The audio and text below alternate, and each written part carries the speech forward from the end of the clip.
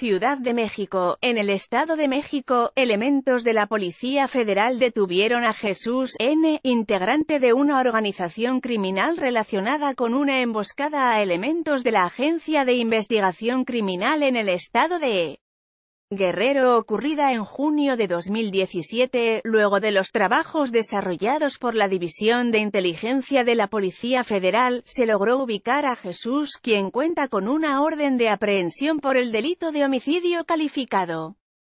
Imagen ilustrativa Foto, cortesía SSP, con la información recabada se desplegó un operativo en las inmediaciones de Coacalco, Estado de México, donde fue detenido Jesús N., a quien le fue leída la cartilla de derechos que asisten a las personas en detención, informó la dependencia.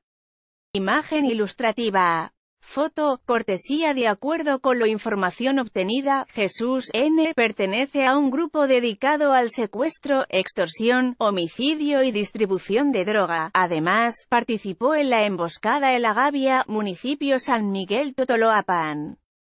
Para dar seguimiento a las investigaciones, el detenido fue puesto a disposición de la autoridad correspondiente, agregó la Comisión Nacional de Seguridad en un comunicado. Esta nota incluye información de El Universal en esta nota, Guerrero emboscada detenido oficial caído.